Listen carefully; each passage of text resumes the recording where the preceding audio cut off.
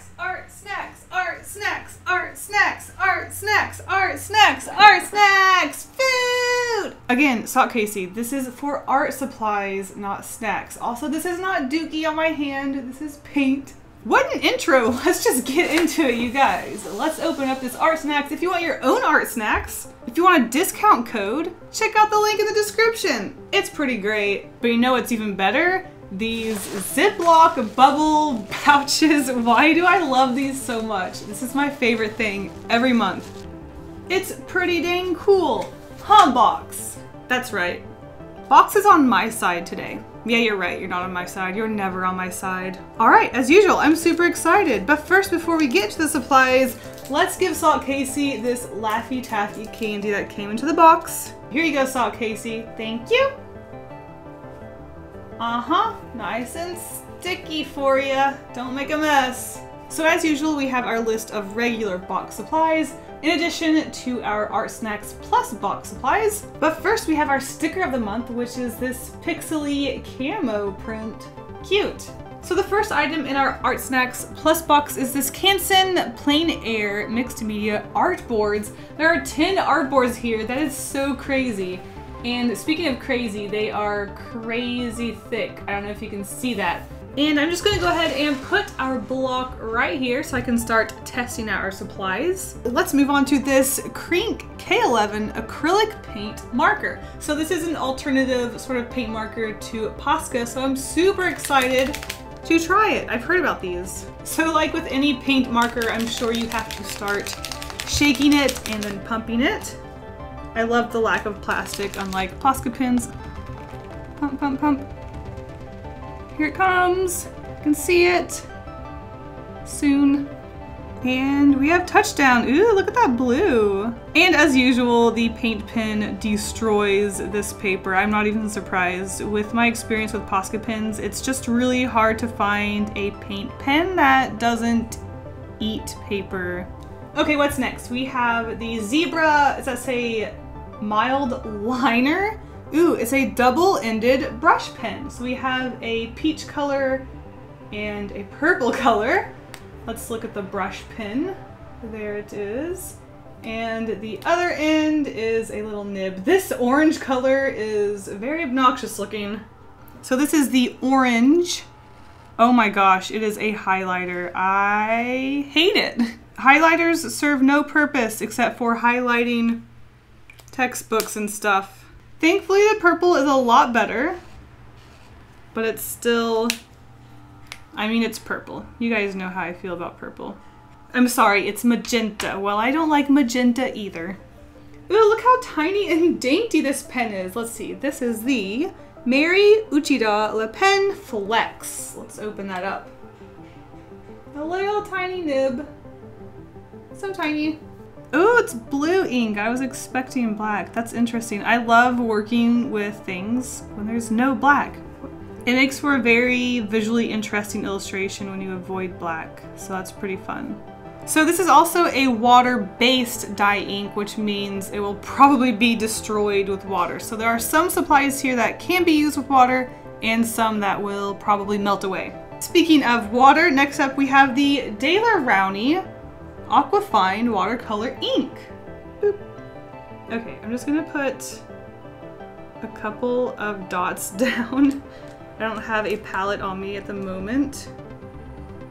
This is Portrait Pink color. Okay, so before that dries, let's really quickly get out our Marvy Uchida water brush large tip. Let me open it up and fill it really quick. Okay, let's test out our water brush with this Portrait Pink watercolor ink. Ooh, it rhymes. Okay, so, so far, I actually kind of feel like I have more control with the water of this watercolor brush more than I normally do with these types of brushes. I normally hate these, but we'll see once I start illustrating a whole piece. All right, and last but not least, we have Princeton Snap Series 9650 Golden Synthetic Brush Filbert. There's our little brush. Feels like a short little brush. I like how thick and kind of heavy the base of the brush is. I like it. Oh heck, I forgot we have a joke. Are you guys ready? What was the Renaissance painter's favorite dessert? Go ahead, let me know in the comments what your guess is. Okay, all right. Nice try. The answer is, oh gosh, it's a knee slapper. We have Michelangelo. Jello, get it? It's hilarious. Are you laughing? Please type LOL in the comments. And with that, I am going to get sketching and brainstorming what we want to draw. And then we can create something with this odd mix of earthy colors and very obnoxiously bright colors. Okay, so I'm really not sure what I even want to sketch. I've got my pencil, we've got a light skin tone, a dark blue, a obnoxious magenta, another obnoxious orange, like what is that even? And a blue paint pen. I feel like this is the most random assortment of supplies ever. Not only that, but why do we need two brushes? I just, whew, this is a random one, but you know, a challenge is a challenge. Let's get into it. So because we've got that bright highlighter orange and kind of the same with the purple, what if we just drew someone holding a highlighter? Just, just went real literal with it. We could design the art police. The art police are actually the worst coordinated art supplies ever. Why? I don't know. They can be a little mouse-like creatures with big ears. They're always watching you from the shadows, making sure that you don't do any art crimes. So we've got this really dark blue. Maybe it might be really interesting to line with the dark blue, but also have to color in maybe their suit with the blue. That might be fun. Open up! This is the art police! You're under arrest for being obnoxious. Once you've been marked by a highlighter from the art police, it's very hard, if not impossible, to wash out, so you don't want to be marked by the art police. People will know you've done an art crime. She needs some sort of more art supplies in her arsenal, maybe like a pencil or something. Like on her belt. She's like, don't make me touch this eraser. I don't want to have to erase you. I think I might love her, but maybe we should do some more fun poses. This just looks like she's like, my highlighter. I love this highlighter. You can't take my highlighter. Though it might be more interesting if she was in a more defensive pose and then we had the ink going around her. So let me look at this. Hold on. I like this one. Okay, so I am going to get a fresh block and um, we'll get to sketching her on a paper and finishing her. Okay, let's find the center of this block. You know I'm going to be doing a circle situation behind our character because she's whisking her weapon around her. Actually, I was thinking about that I was actually thinking about giving her nothing but eraser tools because she's the art police. Maybe she is erasing graffiti around her. And I could just keep her in a sort of black and white situation. Just color her skin or her fur the brown color. And then keep the rest of her black. Or black, I mean that really dark blue pen color. Okay, hold on. I've hated everything I've done so far. It's just straying so much from the original sketch. And I really like the original sketch, and it's just looking so different and stiff in comparison, so let's just let's just rethink our strategy here. Okay, I don't quite like it like the original, but what can you do? Sometimes sometimes that happens. Let's just continue. Oh my gosh, she's all pants, no body. I love that. Okay, but what if I what if I don't want to give her clothes? For some reason, I just want her to be this weird, almost bodiless, definitely shirtless mouse. So here we have a eraser, top eraser that she's wielding for her weapon, kind of like a taser maybe. And around her we're going to have splotches of bright, obnoxious color. And I'm not going to pencil that because we don't need we don't need to sketch that. Oh, she doesn't have a tail. Hold up. Okay, one last thing. She needs a tail. I think she's adorable. Let's um, lighten this sketch and then get to inking her with our dark blue pen. Hold on, I think I just made a horrible mistake.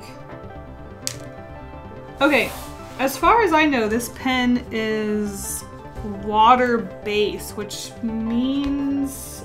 Oh yeah, okay, so if I'm going to be putting the skin tone on our character and inking it, I need to put the skin tone down first, otherwise our line art is going to disintegrate. So, let's just go ahead. Wow, I, I did enough for it to be bad, but at least we can keep the rest of our illustration from dying too badly. Okay, so I'm quite terrified about even coloring the bits that I already inked, but what can you do? I made quite a mistake and I'm terrified to have to fix that. Alright, wish me luck. I'm going to have to start painting around some of these inked areas and I'm terrified. Oh, yep, oh my gosh, I barely got near it and it was immediately wet. Going to go ahead and shade some of her bits and pieces. I wonder if I could dilute this purple, oh boy, that purple marker just a little bit and add a little bit of orange to it to create a more skin tone for like her hands and feet. Oh my gosh, I think I did it. It's cute. Ah! I love that color. What a success, holy heck. It's very similar to brown, but it definitely adds a little bit of a pinker hue to work with, so I'm really happy that that worked out. Ooh, the texture you get with this is oddly strange, but I really like it. It's like the colors didn't want to be watered down and mixed together and they're rebelling against me. Now that I can ink without being scared. oh, I should paint the inside of her ears pink. Oh gosh, okay. I'll have to get back to it. Actually, no, I need to get that now before I ink any of it or she's going to bleed. I love this pink color. It's so good. Let's give her little pink cheeks. Oh my gosh, it looks so good on her brown skin. Ah, so cute! And I even colored her tongue without any serious problems. Let's try to add a shade to her tail. I don't know how I'm gonna do this, but let's just see. I suppose I should color her pants the Krink blue color because they are pretty much um, jean color, right? As few strokes as possible so we don't eat up the paper too badly. I think I'm actually gonna make her other pant leg the inking color just for emphasis of shadow. Now, I think I'm actually ready to continue lining her, so let's get into it.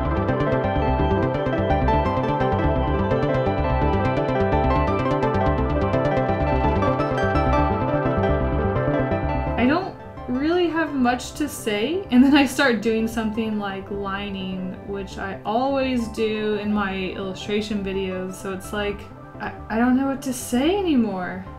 I find the pen to be smooth and really nice. I'm just not into brush nibs just because I really like consistent size of inking and with the brush nib, you do have a variety of sizes going on. I don't hate it, I just prefer to have a very consistent line art size, I guess. Um, other than that, I enjoy the pen. I like inking with blue. I think it's really nice and adds a little something different than just having black.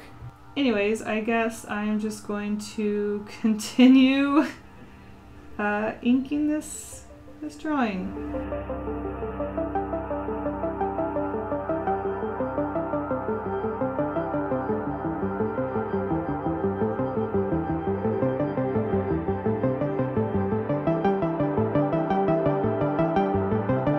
Okay, we have our art police character now. I want to give her something to erase, like some graffiti in the background. So I'm going to use the orange and the pink in their pure and disgusting form. I'm not even sorry. Oh gosh, there's still pink on this orange marker. Whoopsie. I guess I could have some pink that has splotched next to it and mixed in. Oh, we're tearing up the paper. Too many strokes. Too many strokes. Alright, well, this is... Oof, it was pretty cute until I put those highlighter colors down. I don't like those highlighter colors. But anyways, here it is. Here is our art police ready to erase all of your mistakes and artistic sins. I really like the way she turned out. I was happy that I could combine that purple and orange together to make a really cute pinky peachy color to to help her out a little bit and this was really fun. Didn't touch this guy. When you give me a normal brush, you know I'm going to use the normal brush over this guy. I just not a fan of these guys. Actually, let me, I didn't add hair to her hair. I hope you guys enjoyed our Art Police character design. Thank you so much to Art Snacks for sending me this box. If you want to get your own Art Snacks with a discount code, click the link in the description. Alright guys, thank you so much for watching. Hope you enjoyed this mystery unboxing and challenge. Stay golden. And now a huge thank you to my wonderful patrons for all of their support. You guys are the best. If you want to be in the credits at the end of my videos, see secret sketches, coloring pages, early access, and more, check out my Patreon by clicking a link in the description. Thank you guys all so much for the support. Bye!